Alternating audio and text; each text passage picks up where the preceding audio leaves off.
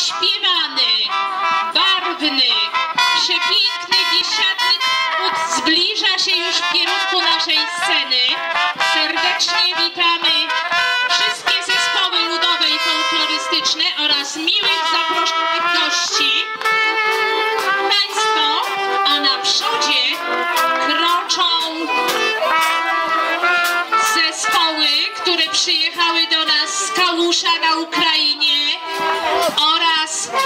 muzycy z zespołu Fujianki. Serdecznie witamy, gorąco witamy wszystkich wspaniałych gości i zespoły folklorystyczne i ludowe, które dzisiaj będą uświetniać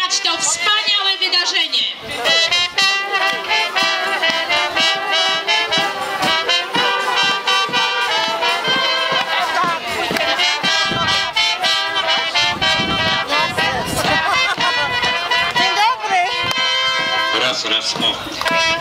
Proszę Państwa, 21. biesiada zespołów kresowych. Jej drugi dzień zaczyna się tutaj właśnie na boisku w Pielgrzymce. Witamy wszystkich tutaj zgromadzonych kresowiaków i miłośników kresów i wszystkie zespoły, które w tym roku, proszę Państwa, naprawdę przyjechały z bardzo daleka. I zespoły z Ukrainy, i z Kaszub, i proszę Państwa, ziemia bytomska, i Częstochowa, i oczywiście mnóstwo zespołów z Dolnego Śląska. Wczoraj na Zamku Grodziec gościliśmy 15 zespołów do można powiedzieć, późnych godzin wieczornych trwały występy i zabawy, koncerty. Czego życzymy sobie i Państwu również w dniu dzisiejszym. Małgosiu, jako gospodarz masz głos. Dziękuję pięknie, panie Zenku. Panie, panowie, to niezwykłe sierpniowe, wakacyjne popołudnie mamy ogromny zaszczyt powitać wszystkich w drugim dniu 21. Międzynarodowej Biesiady Kresowej w naszej małej ojczyźnie, gminie Pielgrzymka. Szanowni Państwo, wzorem lat ubiegłych zapraszamy teraz do wspólnego zaśpiewania hymnu naszej biesiady. Wszyscy wiemy, że jest to pieśń przepiękna. Hej, sokoły!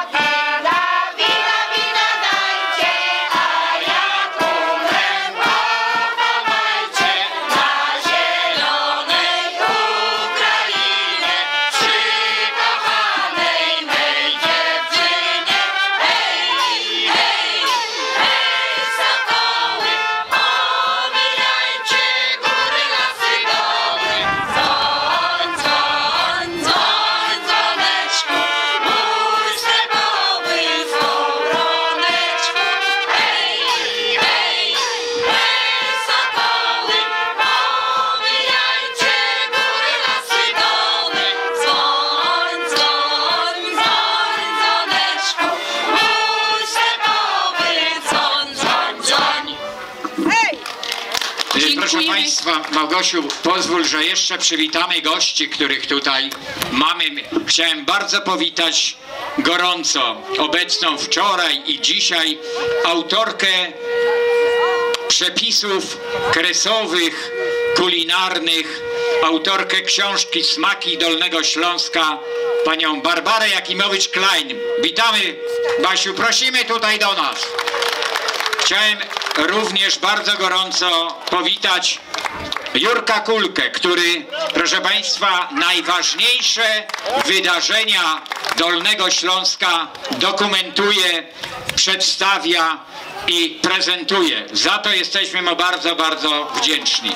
Chciałem bardzo gorąco przywitać przedstawicieli mediów. Jest z nami E. Legnickie, a jak E. Legnickie to widzę od razu jest pan poseł na Sejm Robert Kropiwnicki, którego również serdecznie witamy.